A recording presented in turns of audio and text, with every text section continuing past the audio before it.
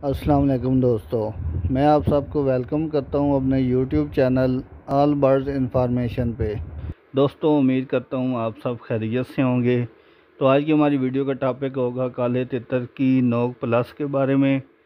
आज की इस वीडियो के अंदर मैं आपको काले तितर की नोक जो है वो क्यों बढ़ती है और उसको काटने के कुछ तरीके बताऊँगा। तो वीडियो बहुत ज़्यादा अहम है आपसे की रिक्वेस्ट है कि वीडियो को लास्ट तक ज़रूर देखें।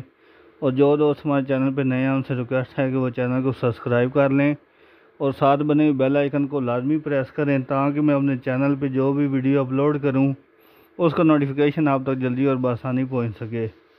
तो चलें दोस्तों, शुरू करते हैं आज की इस वीडियो को।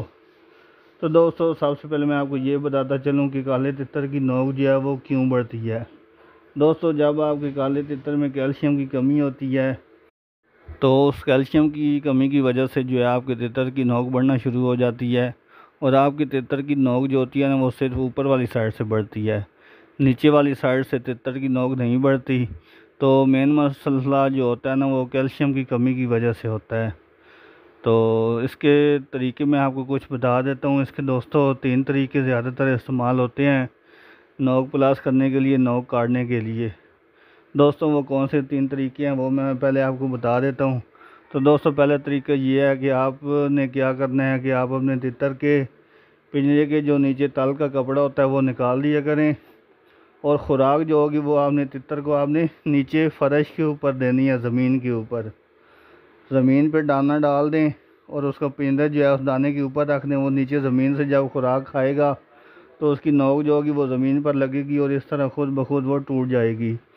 एक तरीका ये है, दूसरा तरीका ये है कि जब आप अपने तितर को मट्टी दें तो आपने नीचे जो है वो ईंटें जोड़ लेनी है। ईंटों के ऊपर आपने बिल्कुल बारीक बारीक मट्टी डालनी है और अपने तितर का पिंजरा जो है उसके ऊपर रख दें।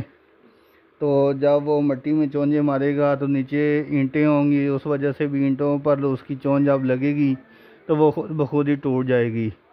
दोस्तों, तीसरा तरीका ये है कि आप खुद उसको आराम से पकड़ें अपने तितर को। पकड़ के जो नेल कटर होता है, उससे उसकी चोन जो है वो काट दें। दोस्तों, ये तीन तरीके होते हैं।